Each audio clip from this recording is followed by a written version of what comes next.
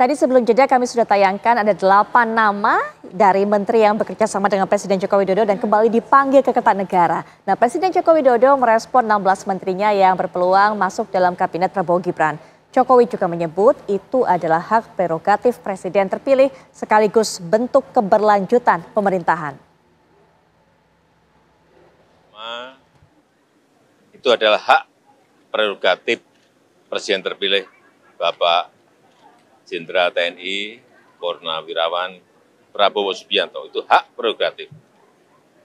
Siapa pun yang dipilih, kita semuanya menghargai. Mengenai kurang lebih berapa 15 atau 16 menteri di kabinet sekarang yang juga dipilih oleh Bapak Prabowo Subianto itu juga saya kira melalui pertimbangan matang melalui seleksi-seleksi, melalui pengalaman beliau bergaul, berinteraksi dengan para menteri selama lima tahun. Dan memang hampir tim ekonomi yang ada memang, yaitu yang namanya keberlanjutan yaitu Ya itu yang namanya keberlanjutan kata Pak Jokowi. Jadi poinnya di situ kita akan bahas mengenai hal ini juga. Apakah kemudian nama-nama ada 16 nama menteri yang kemudian terpilih lagi oleh Prabowo Subianto memang merupakan tujuan dari transisi yang disiapkan juga dari pemerintahan Presiden Joko Widodo. Tapi sebelumnya kami akan juga sajikan nama-nama dari sosok-sosok menteri yang saat ini juga sepertinya akan mendapatkan kepercayaan dari Prabowo Subianto. Nah kita lihat di belakang dan juga ini menjadi menteri pada saat pemerintahan Joko Widodo. Kita lihat Mas Ahaye, Menteri ATR BPN yang juga merupakan ketum Partai Demokrat dinilai juga memberikan kontribusi untuk mengantarkan Prabowo Subianto meraih kemenangan. Kemudian juga ada Pak Tito Karnavian sebagai Mendagri, kemudian juga Pak Zulhas selaku Ketua Umum PAN, dan juga Menteri Perdagangan saat ini, ini dia Ketum Partai Golkar, Bahlil Lahadalia yang juga menjabat sebagai Menteri ESDM, kemudian Pak Pratikno selaku Menseknek yang juga dipanggil. Nah ini Mas Dito Aryo Tejo selaku Menpora yang awalnya kabarnya tidak akan terpilih lagi tapi kemudian ternyata ikut dipanggil ke Kertanegara. Ada Menteri BUMN Erick Thohir dan juga ini Budi Gunadi Sadikin selaku Menkes. Amran Sulaiman Menteri Pertanian, Kemudian juga Menteri Koordinator Bidang Perekonomian Erlangga Hartarto. Supatman Andi Aktas yang juga merupakan kader dari Gerindra.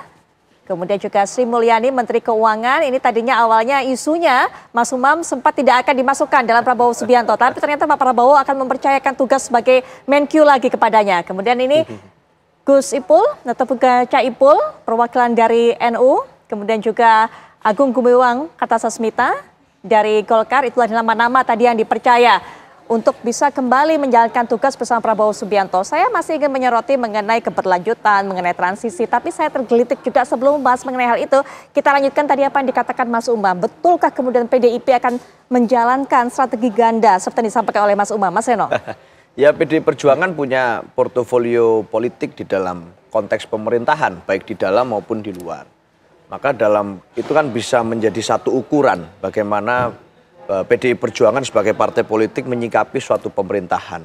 Di dalam pemerintahan pernah, di luar pernah, melawan pemerintah pernah pada waktu Orde Baru, lalu memperjuangkan pemerintah juga pernah. Artinya menang kalah biasa di dalam di luar kita sangat paham bagaimana etika dan uh, kultur kepemerintahan di, sepanjang Republik Demokrasi Indonesia Republik Indonesia ini belajar demokrasi pasca reformasi. Nah, dalam konteks itu saya rasa kita punya satu panduan dalam bergerak dan mengambil sikap politik yaitu ya objektivitas dan kritisisme. Pada saat di luar pemerintah, apabila ada kebijakan yang baik, tentu kita akan mendukung sepenuhnya. Meskipun kita tidak ada satupun misalnya nama kader kami ataupun orang-orang yang dekat terafiliasi dengan kami di ya.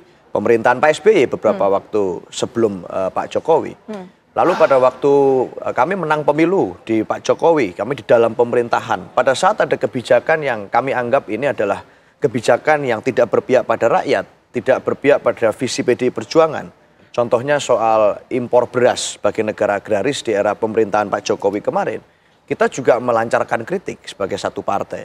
Pada saat ada backlash atau backsliding demokrasi yang itu di, banyak diperbincangkan oleh berbagai tokoh, hmm. ya kita juga bersuara. Artinya apa?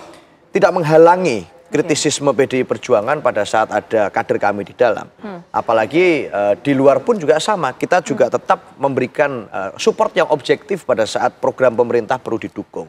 Jadi siapa pun nama-namanya, saya rasa kalau itu beredar sekarang ada nama uh, beberapa nama yang muncul. Sejauh ini kan nama-nama ini tidak berKTA PDI Perjuangan. Satu, hmm. secara formal. Yang kedua, kalaupun ada kedekatan dengan kami, bukan berarti lalu kemudian kita akan uh, lempeng-lempeng saja. Pada saat dalam konteks ini kita akan membagi tugas yang baik, di legislatif pun peran uh, fungsi kontrol dan check and balance akan terus dilakukan. Apalagi uh, sebenarnya sikap resmi partai apakah nanti akan di dalam atau di luar, yeah. mendukung atau tidak, itu kan secara kolektif sebenarnya diambil di Kongres okay, itu nanti oleh keputusan baik. ketum. Jadi nanti masih ada cukup waktu, tapi yeah. perjalanan politik menunjukkan bahwa kita bisa tetap menjaga nilai kritis itu. Oke, baik. Ya. Kita beralih berbicara mengenai nama-nama dari Menteri Jokowi yang saat ini kemudian terpilih lagi. Pak Wihadi, apakah kemudian nama-nama ini hasil dari pertemuan Pak Prabowo dengan Pak Jokowi yang sepertinya cukup intens, cukup private, ada di pelataran Jakarta, bahkan sampai bertemu satu setengah jam di Solo, ditemani Mas Gibran juga di sana. Pak Wihadi.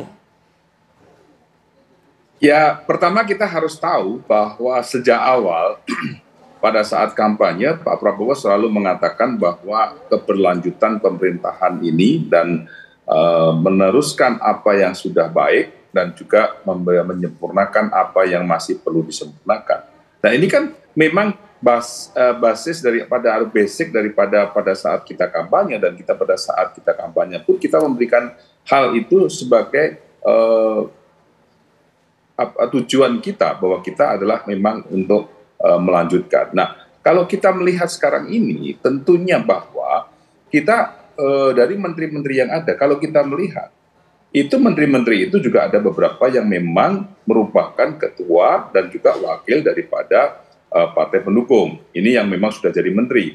Nah, tentunya bahwa dengan ada keberlanjutan, tentu ada sesuatu hal yang memang kita lihat bahwa kinerja yang baik dan juga kita melihat bahwa di sinilah kita tidak perlu berpuluh persangka apakah ini uh, Pak Jokowi atau tidak, tetapi permasalahannya adalah sekarang ini kita adanya sesuatu hal yang memang harus ada stabilitas daripada uh, pasar permasalahan ekonomi, stabilitas daripada keamanan, dan stabilitas daripada politik juga. Dan inilah yang mesti harus dilihat bahwa bagaimana menteri-menteri yang ada sekarang ini dan kita harus usung keberlanjutan sehingga apa yang kita lihat sekarang ini tidak ada suatu gejolak dan tidak menjadi uh, instabilitas dan kemudian uh, masyarakat sendirilah yang nanti melihat bahwa pemerintahan ini uh, dalam waktu yang sekian lama itu tidak memuaskan. Nah, inilah yang dikatakan Pak Prabowo bahwa kita harus ada keberlanjutan. Hmm. Nah, keberlanjutan inilah yang kita kita coba bahwa menteri-menteri secara kita kalau lihat menteri-menteri ekonomi bahwa memang menteri-menteri ekonomi yang kita uh, lihat di sini adalah menteri-menteri ekonomi yang akan melanjutkan program-program kerja ini. Karena apa? Hmm. Karena kita melihat bahwa ekonomi global tidak sedang baik-baik saja. Perang ada di mana-mana. Nah ini yang masyarakat harus tahu bahwa dalam situasi seperti ini kita tidak mungkin kita ini mau coba-coba. Kita harus melihat bahwa apa yang sudah ada sekarang ini dan apa yang sudah dicapai sekarang ini harus dilanjutkan, harus ada stabilitas. Hmm. Kalau tidak, bagaimana kita menghadapi situasi global yang saat ini?